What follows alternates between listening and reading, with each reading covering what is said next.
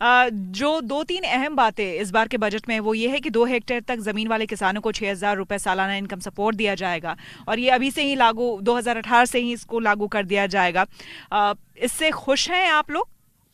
पहली बात तो ये छह हज़ार रुपये मात्र होता कितना है इस महँगाई के दौर में? वो भी तीन किस्तों में। यानी दो हज़ार रुपया दो हज़ार रुपया दो हज़ार रुपया। हम्म। वो होता कितना है? लिहाजा हम इससे असंतुष्ट हैं। हम्म।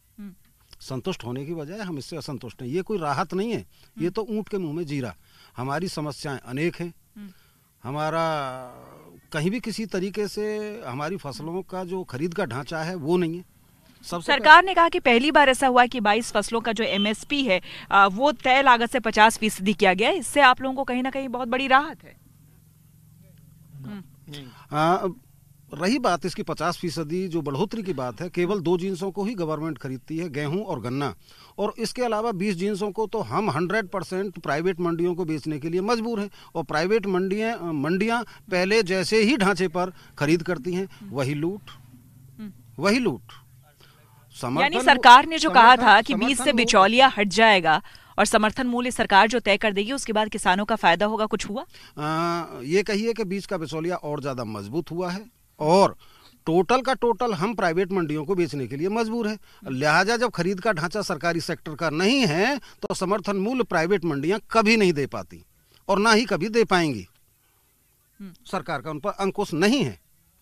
किसान क्रेडिट कार्ड पर भी जो सरकार ने इस बार कहा है कि दो प्रतिशत आप लोगों को और ये मिलेगा। तो कहीं ना कहीं जब से किसान क्रेडिट कार्ड आया था उससे आप लोगों को राहत मिली थी। इनफैक्ट आप लोगों को सहूलियत हुई थी खरीद बिक्री में। जी। देखिए, इस किसान क्रेडिट कार्ड पे दो परसेंट जो ब्याज की दर की जो छूट बताई है, इससे किसान को कोई लाभ नहीं है। पहले तो किसान का लोन ही नहीं हो रहा है। दूसरी बात, अगर किसानों में जाओगे तो बैंकों में जाओगे तो इतनी धांधलीबाजी है कि किसानों को वहाँ से वापस लौट, लौटा दिया जाता है। किसान, बैंकों में एजेंट बैठे हैं, वहाँ पर उनको लोन ही समय से नहीं मिल पाता है और उल्टा जब किसान लोन लेता है तो किसान पैसे उल्टा कमीशन ले लिया जाता है क्रेडिट कार्ड के अंदर। तो ये दो ब्याज से छूट क्या होगी? सबसे पहले माननीय प्रधानमंत्री जी, जो जो किसानों में बैंकों में किसानों के बीच में बिचौलिए बैठे हैं जो लोन होता है उनको हटाएँ और जब वो लोन सही से उनको मिल जाएगा उसमें कोई कमीशन खोरी नहीं होगी तो उस पर ब्याज पे छूट देने की भी कोई आवश्यकता नहीं है। जबकि वो एक लाख का लोन करा रहा है उसको मिल रहे हैं अस्सी हज़ार रुपये पचासी हज़ार रुपये किसान को तो पंद्रह हज़ार रुपये वो भी इससे हो गए तो ये दो हज़ार रुपये से किसान का पेट नहीं भरेगा और ये किसान के लिए नाकाफ़ी है और ये इससे किसान संतुष्ट बिजली पानी की समस्या बहुत बड़ी रही है लेकिन सरकार इसे हमेशा दूर करने की कोशिश करती रही है। इस बार भी इस बजट में भी इस बात का ज़िक्र किया गया है। देखिए बिजली की बात आई। आज जो बिजली दी जा रही है इतनी महँगाई मकानों में जो बिजली दी जा रही है इतनी महँगाई है कि आज की डेट में कोई बिल अपना नहीं भर पा रहा। है मतलब कौन सा तरीका है कि महीने का आठ सौ रुपये साढ़े आठ सौ रुपये? उज्ज्वला योजना से फ़ायदा हुआ? नहीं उज्जवल योजना से कोई फ़ायदा नहीं। उज्ज्वला योजना से कोई फ़ायदा नहीं हुआ केवल ये लॉलीपॉप है जो उज्ज्वला योजना में क्योंकि आप ये नहीं मानेंगे कि गैस सिलेंडर्स मिले मुफ़्त में?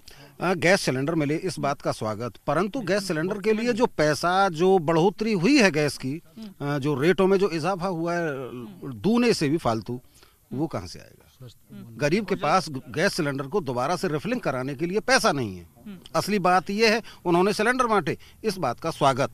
परंतु गैस पर जो सब्सिडी पहले मिलती थी वो सारी समाप्त हो गई। आयुष्मान भारत योजना खास करके जो गरीब वर्ग के लोग हैं गरीब तबके के लोग हैं उनके लिए खास करके इंट्रोड्यूस किया गया था। उससे फ़ायदा कितना किसानों को गरीब परिवारों को हुआ है? देखिए मैडम यह एक जुमला था। आज की डेट में अगर कोई गरीब का बच्चा हॉस्पिटल कहीं जाए तो क्या मिल कुछ नहीं। आज मैं जेवर से ही लगा लेता हूँ सरकारी हॉस्पिटल या प्राइवेटों में। प्राइवेट हॉस्पिटल में अगर किसी के पास पैसा है तो वो इलाज करवा सकता है। अंत उसे गेट पे बैठा देते कि जाइए आप, कुछ नहीं। सरकारी हॉस्पिटल की बात आती है, सरकारी हॉस्पिटलों में आज डेट में अगर कोई बच्चा बीमार हो जाए तो इंजेक्शन भी नहीं है।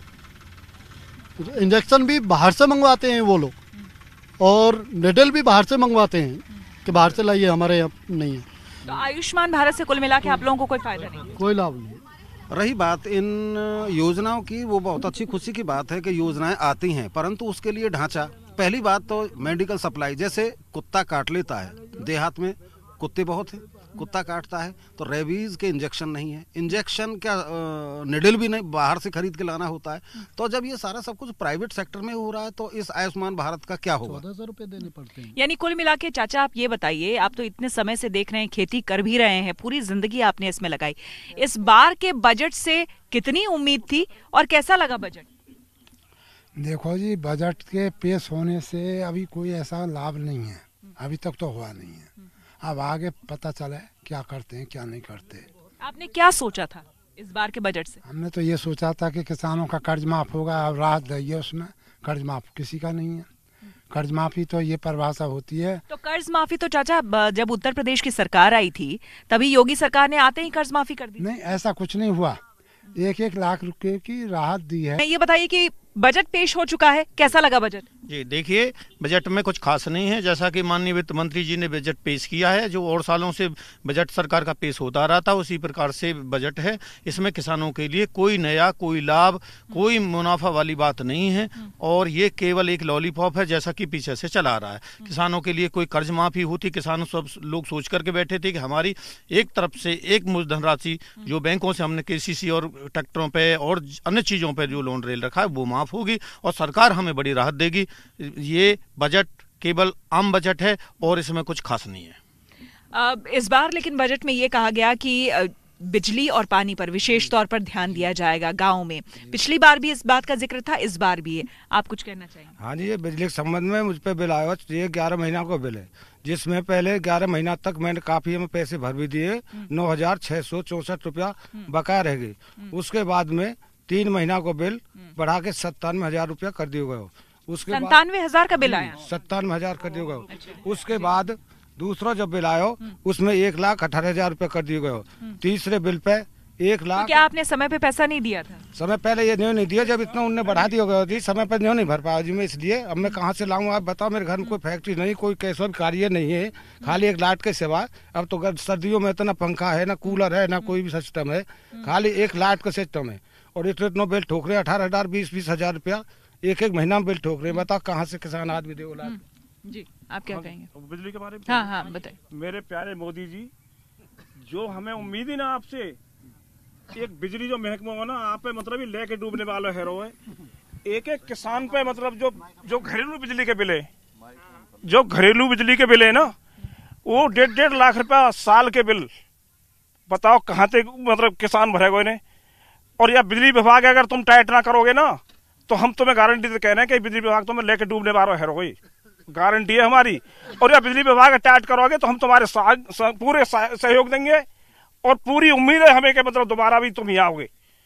पर लेकिन यह बिजली विभाग पे थोड़ा नकेल कसो तुम तो किसानों की नाराज़गी अपनी जगह जायज़ है क्योंकि आप समझ सकते हैं कि अगर एक लाख अस्सी हज़ार इस तरह का बिल अगर आएगा किसी किसान के पास तो आखिर वो कहाँ से भरे?